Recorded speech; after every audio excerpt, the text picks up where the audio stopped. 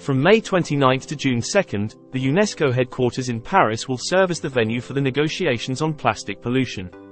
Paris will host approximately 1,000 delegates from 175 countries, along with scientists, civil society representatives, and industry stakeholders who are participating in the discussions to address the issue of plastic pollution on a global scale. In this video, we will start by providing a concise update from Paris, followed by a comprehensive discussion on an important topic, plastic pollution. Specifically, we will delve into the categorization of environmental hazards associated with plastic pollution, with a particular focus on microplastics. Our aim is to provide you with valuable insights and knowledge on this pressing issue. If you find our content engaging and would like to stay informed about our upcoming videos covering a range of geopolitical and environmental debates, we encourage you to subscribe to our channel and enable notifications by pressing the bell icon. We also invite you to explore our existing video library for more informative content. Thank you for your support, and we hope you enjoy watching our videos. The aim of Paris negotiations is to develop a legally binding international treaty by 2024 to combat plastic pollution and its detrimental effects on ecosystems, human health, and the climate. Each year, over 350 million tons of plastic waste are generated globally. The negotiations are being conducted under the United Nations banner and are still in their early stages. The goal is to achieve a significant multilateral agreement on the environment, comparable in importance to the Paris Agreement on climate change. In March 2022, a resolution was adopted, establishing the Intergovernmental Negotiating Committee, INC, for this purpose. Paris is hosting the second of five negotiating sessions scheduled until the end of 2024, following a meeting in Punta del Este, Uruguay. According to Christophe Béchu, the French environmental transition minister, this meeting is seen as a crucial step and a valuable opportunity for environmental diplomacy.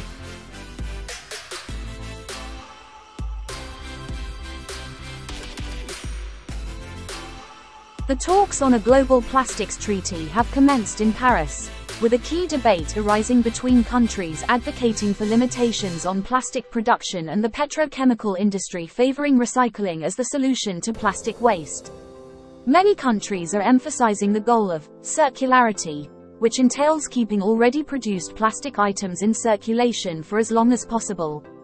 Ahead of the talks, a coalition of 55 nations called for a robust treaty that includes restrictions on hazardous chemicals and bans on problematic plastics that are difficult to recycle and often end up in the environment.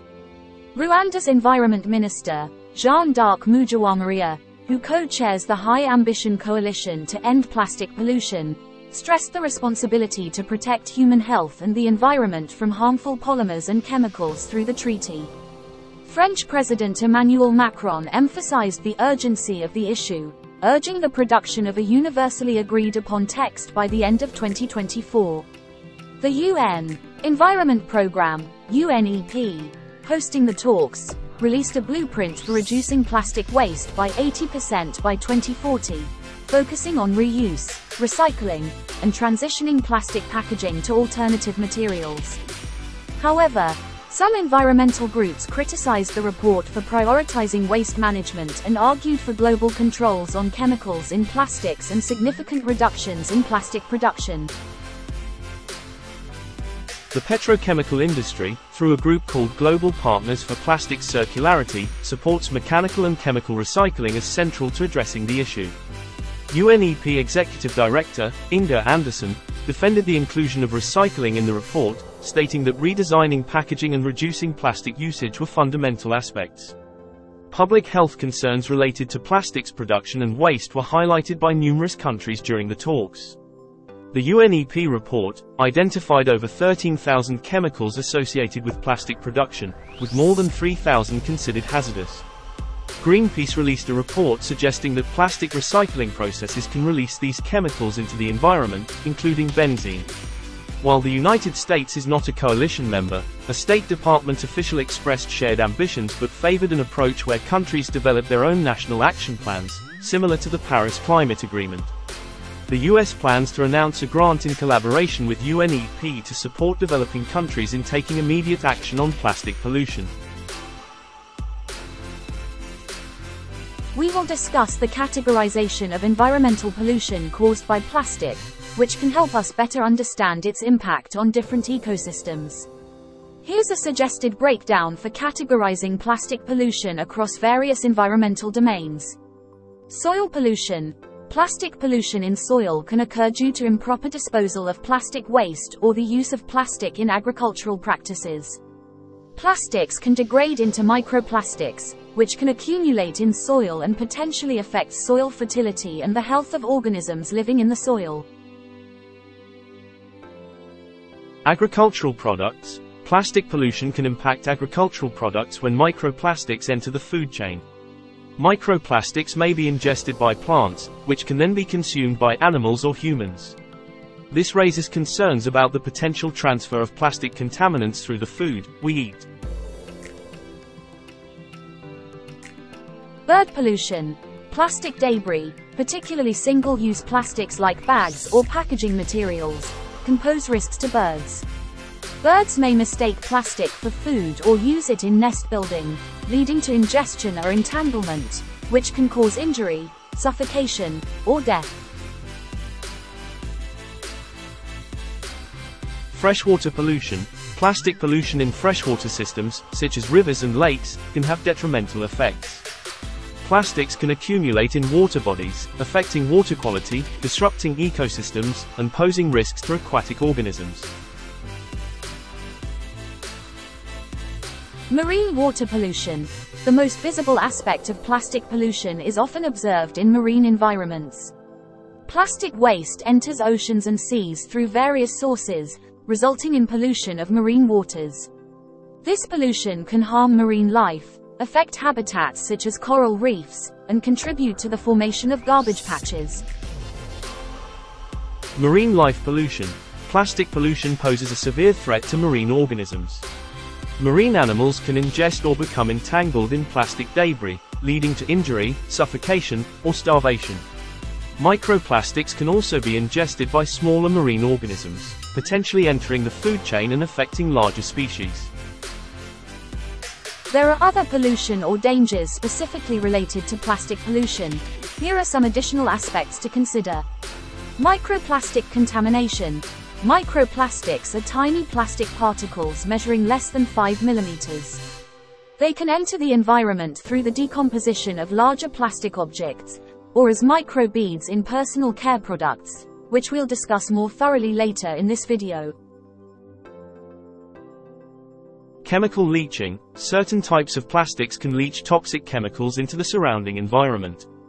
This is especially concerning for plastics containing additives such as phthalates, bisphenol A, and flame retardants.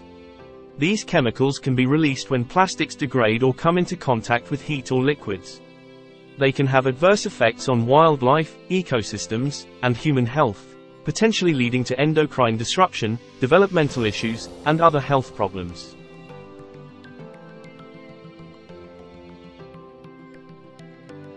Plastic persistence.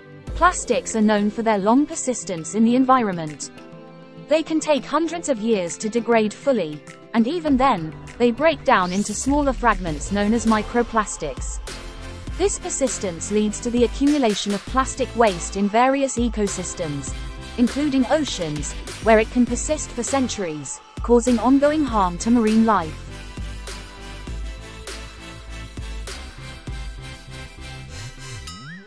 Invasive species transport, plastic debris, particularly marine plastic, can act as a vector for transporting invasive species. Organisms can attach themselves to floating plastic pieces and be carried across long distances, potentially disrupting ecosystems and outcompeting native species in new areas. Entanglement and physical harm. Wildlife, both on land and in water, can become entangled in plastic debris such as fishing nets, six-pack rings, and plastic bags. This can cause injuries, physical impairments, or even death for animals unable to free themselves from entanglement. Microplastic contamination has emerged as a significant concern in recent years due to its widespread presence in various ecosystems, and potential impacts on both the environment and living organisms. Here's a closer look at microplastic contamination. What are microplastics? Microplastics are small plastic particles that are less than 5 mm in size. They can be broadly categorized into two types. Primary microplastics, these are intentionally produced small plastic particles, such as microbeads used in personal care products, for example, exfoliating scrubs, toothpaste, or plastic pellets, nurdles, used as raw materials in plastic manufacturing. Secondary microplastics, these are formed through the degradation and fragmentation of larger plastic items, such as bottles, bags, and packaging materials. Over time, exposure to sunlight, waves, and other environmental factors can break down plastics into smaller fragments. How do microplastics contaminate the environment? Microplastics can enter the environment through various pathways. Direct release, certain products, such as cosmetics and cleaning agents, contain microbeads that are directly released into wastewater systems and subsequently enter water bodies. Fragmentation. Larger plastic items, such as bottles or packaging, break down over time due to weathering, erosion, and mechanical stress, resulting in the generation of microplastic particles. Atmospheric deposition, Microplastics can also be transported through the air and deposited in terrestrial and aquatic environments. This can occur through processes like atmospheric transport and fallout from urban areas or microplastics generated from tire wear on roads. Runoff and rivers. Rainwater runoff and rivers can transport microplastics from urban areas to freshwater bodies and eventually to the oceans. Microplastics can also be introduced to freshwater systems through industrial discharges or agricultural runoff. What are the environmental and health concerns? Microplastic contamination poses several environmental and health concerns. Wildlife impact, microplastics are ingested by a wide range of organisms, including plankton, fish, birds, and marine mammals. They can cause physical harm, blockages in digestive tracts, and impair nutrient absorption. Microplastics may also transfer toxic chemicals absorbed from the surrounding environment into the organisms that consume them. Ecosystem disruption.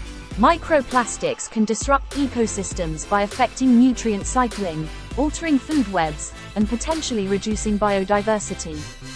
Changes in population dynamics and interactions between species can have far-reaching ecological consequences. Contaminant transport. Microplastics can act as carriers for other toxic pollutants. Chemicals like polychlorinated biphenyls, PCBs, polycyclic aromatic hydrocarbons, PAHs, and other persistent organic pollutants can adhere to microplastic surfaces. This can lead to the transfer of these contaminants to organisms upon ingestion. Human exposure.